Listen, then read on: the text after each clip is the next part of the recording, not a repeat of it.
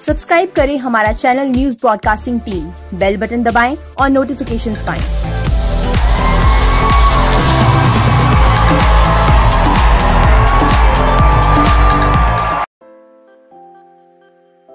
Tiger और दिशा पटानी आजकल बागी टू के प्रमोशन में बिज़ी हैं। स्टारर फ़िल्म बागी टू में यह दोनों ज़बरदस्त एक्शन करते नज़र आएँगे। लेकिन इस बीच एक चौंकाने वाली खबर सामने आई है कि दिशा पटानी और टाइगर के बीच सब कुछ ठीक नहीं चल रहा है। प्रमोशंस में टाइगर को मिल रही लाइमलाइट से वो परेशान है। इसी को लेकर दोनों में झगड़ा होने की भी खबर है। हालाँकि दिशा इसलिए दुखी है क्योंकि टैलेंट होने के बावजूद उन्हें अटेंशन नहीं मिल रहा है। दोनों एक्टर्स के बीच चीज़ें सही नहीं है। प्रमोशन के दौरान दिशा और टाइगर में ज़बरदस्त लड़ाई हुई।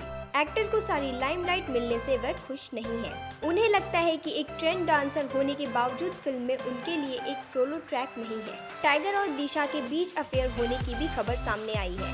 दोनों लंबे समय से एक दूसरे को डेट कर रहे हैं। हालाँकि दोनों ने हमेशा इन खबरों को अफवाह बताया है। बागी टू साल 2016 की फ़िल्म बागी का सीक्वल है।